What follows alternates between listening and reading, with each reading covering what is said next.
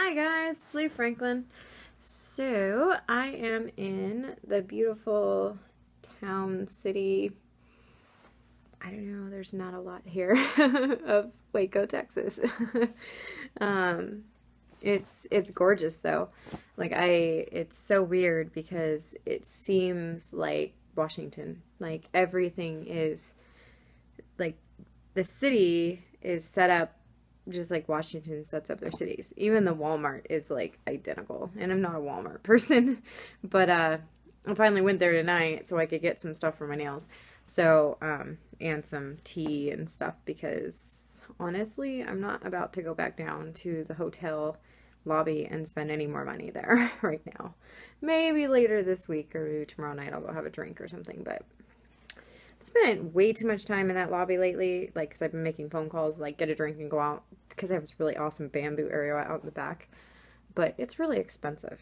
So, anyways, so, um, yeah, I'm down here training, and that's really exciting and really, like, hectic and scary, and seriously, like, it's like going to college again.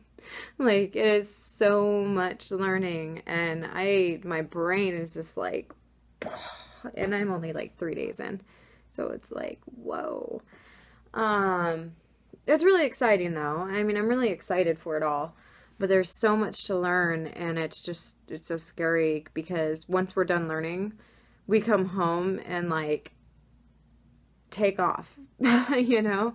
Like you just do everything and it's it's nerve wracking and scary and uh, yeah.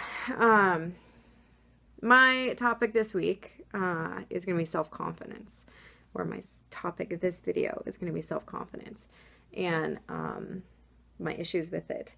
But first, I'll give you my stats and then I'll talk about self confidence. Um, started right around uh, May 1st, 2012, at about 280 pounds, and my surgery date was June 14th, I was 254 pounds. Today I'm sitting at about 125 pounds. I'm really happy. Um, my lowest was 120, but 125 is good for me. Um, someday I might see it again. I might not see it again. I don't care. Five pounds is not going to kill me. And honestly, I feel better at 125 than I did at 120. I have pictures of myself that I don't like at 120. So, anyways, those are my stats. Um, I had uh, the uh, vertical sleeve gastrectomy, um, June 14th, 2012. I am exactly 160 pounds down, or I was. I'm 155 pounds down from my highest. Um, and I feel great. Everything's been awesome. Um, I was a drop foot weight loss surgery patient, which there's a lot of them out there. Um, pretty much I'm cured of the drop foot. I still have issues with it. Every once in a while, it'll like kind of just like bug me. But other than that, I like don't have any of the symptoms anymore. But every once in a while, when my leg gets tired or something like extreme exhaustion, then um, I'll see like a little bit. Um, other than that, I've had a pretty awesome, awesome, awesome journey. Um, yeah. Oh, uh, one thing that I haven't told you guys, which I probably should have like months ago. I don't know. Um, once I lost all the weight, my body like kicked into overdrive and my ovaries kicked into overdrive. And now, the reason why I've been having all these issues and these womanly issues that I was worried about last year, I finally went to the doctor and uh, found out that my body is like constantly ov- ovulating now. Like, it's time to have kids or something. I'm done having kids. I don't need that anymore. Um, and so we've come to the determination, or my doctor and I have come to the determination that I need to have a hysterectomy.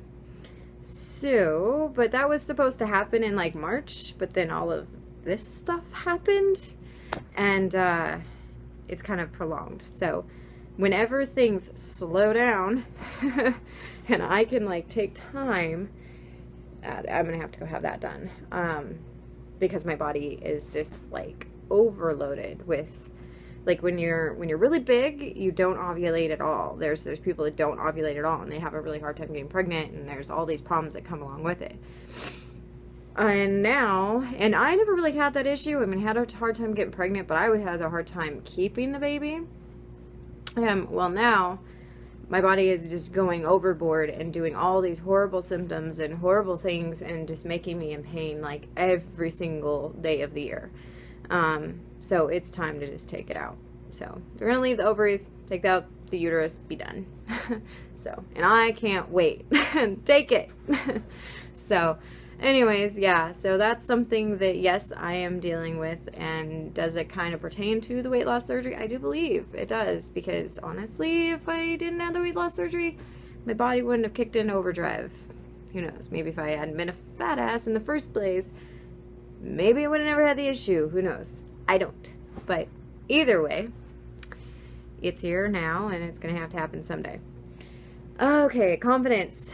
I'm noticing like not being at home, not being in my my little bubble of my world, my confidence level is still lacking. Um, I'm a lot more confident with my looks and a lot more confident around people. But deep down, a lot of the issues that I've always had are still coming out. I'm worrying about everything. I'm worrying about expressions that people make. I'm worrying about what people are thinking.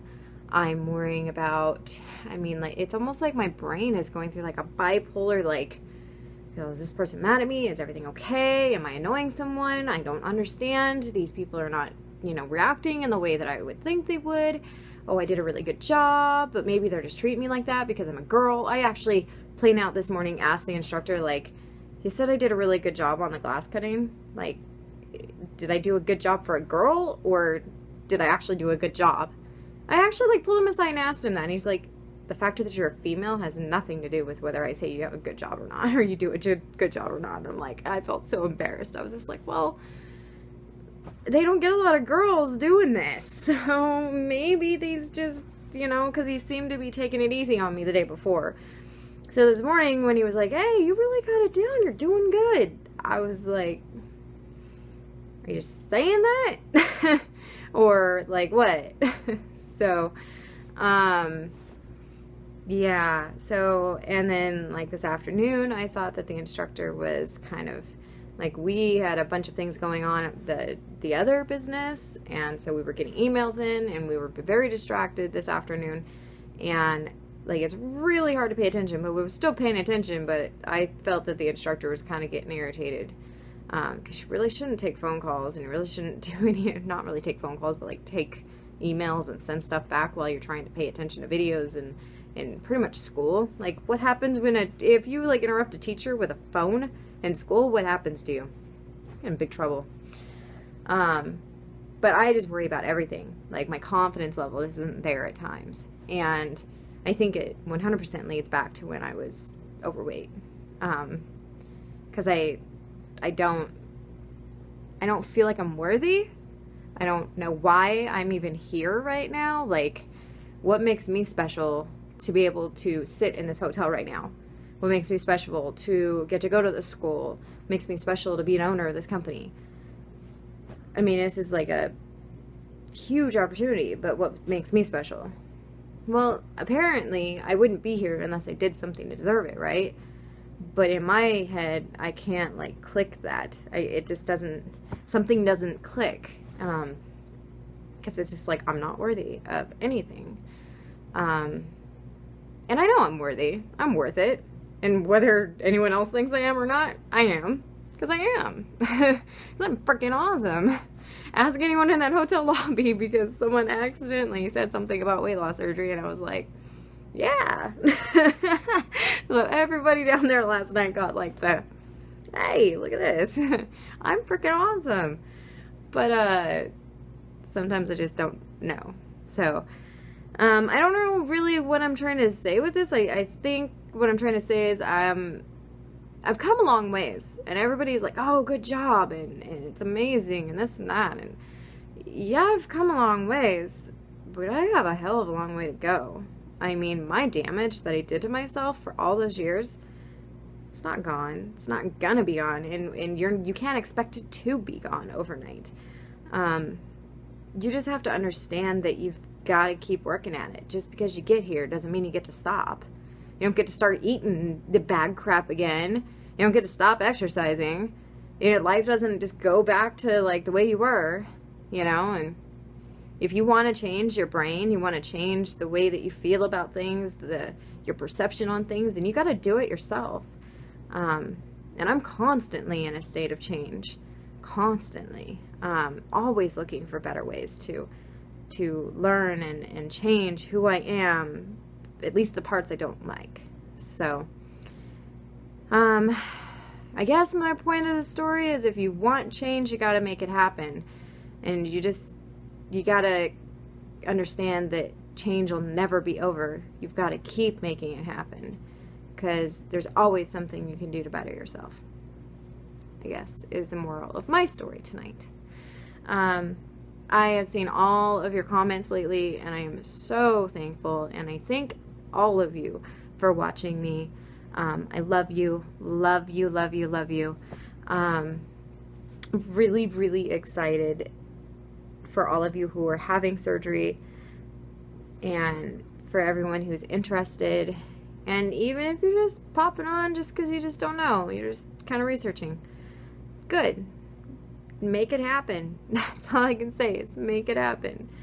Um, I'm going to put some pictures on the end of this as long as my computer will let me because I'm kind of tired tonight.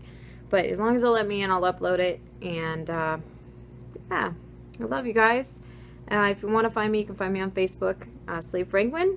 Uh, you can always pop something below. Um, I do not answer messages on the YouTube um, channel. I will um, answer messages on Facebook.